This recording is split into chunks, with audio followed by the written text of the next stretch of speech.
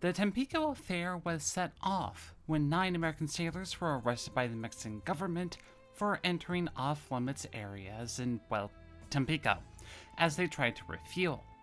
The sailors were released, but the U.S. naval commander demanded an apology and a 21 gun salute for this action. The apology was provided, but not the salute, and in the end, the response from U.S. President Woodrow Wilson ordered the U.S. Navy to prepare for the occupation of the port of Veracruz. While awaiting authorization from Congress to carry out such an action, Wilson was alerted to a delivery of weapons for Victoriano Huerta, who had taken control of Mexico the previous year after a bloody coup. And the delivery was due to arrive in the port on April the 21st, aboard the German cargo steamer the SS Ypiranga. As a result, Wilson issued an immediate order to seize the port's custom office and confiscate the weaponry. On the morning of April the 21st of 1914, U.S. warships under the command of Rear Admiral Frank Friday Fletcher began preparing for the seizure of the Veracruz waterfront, sending men ashore in an attempt to establish a foothold. As the landing party moved towards Veracruz, a large crowd of Mexican and American citizens gathered to watch the spectacle. The invaders encountered no resistance, and they began marching towards their objectives along the main waterfront.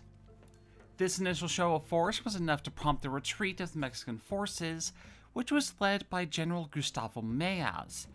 And in the face of this, Commodore Manuel Azueta encouraged cadets of the Naval Academy to take up the defense of the port for themselves. 200 line soldiers of the Mexican army would remain behind to fight the invaders along with the citizens of Veracruz. Although the landing had been nearly unopposed, Veracruz quickly became a battleground. By mid afternoon, the Americans had occupied the majority of the waterfront, and Admiral Fletcher called a general halt to the advance, initially hoping that a ceasefire could be arranged. That hope rapidly faded as he could find no one to begin to bargain with, and all Mexican troops left in the city were instructed to remain on the defensive, waiting for reinforcements. On the night of the 21st, Fletcher decided that he had no other choice but to occupy the entire city and not just the waterfront. Five additional battleships and two cruisers had reached Veracruz during the hours of darkness, and they carried with them an additional 1,500 men, all of whom landed ashore before sunrise. At 7:45 a.m. the following morning, the advance would begin once again. A regiment led by Navy Captain E.A. Anderson advanced on the Naval Academy in parade ground formation, making his men easy targets for the partisan barricades inside. This attack was initially repulsed, and soon the attack was renewed, with artillery support from the three warships in the harbor, which pounded the Academy with their long guns for a few minutes, which silenced all resistance. And by the afternoon, US troops had secured the town square and were in complete control of Veracruz. Some pockets of resistance continued to occur around the port, mostly in the form of hit and run guerrilla tactics, but by April the 24th, all fighting had ceased. Marines and soldiers continued to garrison the city until the US withdrawal on November the 23rd, which occurred only after Argentina, Brazil, and Chile were able to settle the issues between the two nations at the Niagara Falls Peace Conference.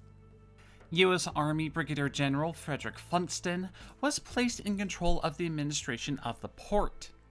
Assigned to his staff as an intelligence officer was a young Captain Douglas MacArthur.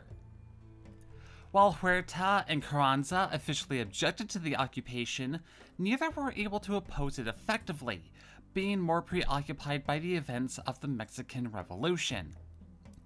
Huerta was officially overthrown, and Carranza's faction took power. The occupation, however, brought the two countries to the brink of war and worsened US Mexican relations for many years. The ABC powers held the Niagara Falls Peace Conference on May the 20th to avoid an all out war over this incident.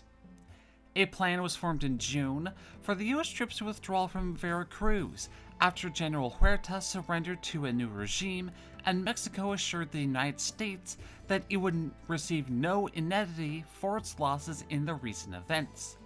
Huerta soon afterwards left office and gave his government to Carranza. Carranza, who was still quite unhappy with US troops occupying Veracruz, rejected to the rest of the agreement.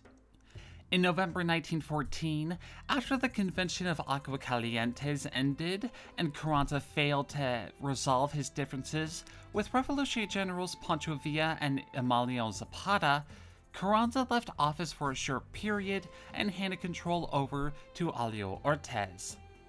During this brief absence from power, however, Carranza still did control of Veracruz, and after leaving Mexico City, he would flee to Veracruz, and he agreed to accept the rest of the terms of the Niagara Falls Peace Conference, and the United States troops would officially depart on November the 23rd.